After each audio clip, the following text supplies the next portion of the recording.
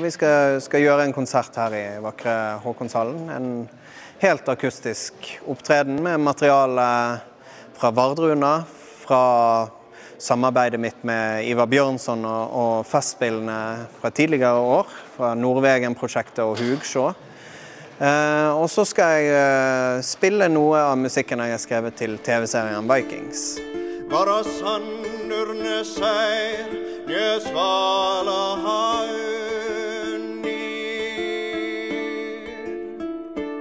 har aldri vært et mål for meg å kopiere fortiden, prøve å lage autentisk historisk musikk fra en eller annen spesifikk tidsperiode. Det handler mer om å ta noen redskaper fra, fra eldre tider og lage noe nytt med det. Ikke bare redskapene, men òg eh, tanker og tradisjoner som jeg mener har like stor relevans som den gang det var en levende tradisjon. Your songs are gone, so let's make new ones. Because songs are medicine. Music is medicine. Ek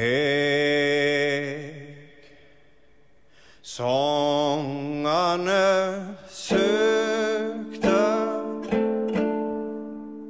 Ek sångane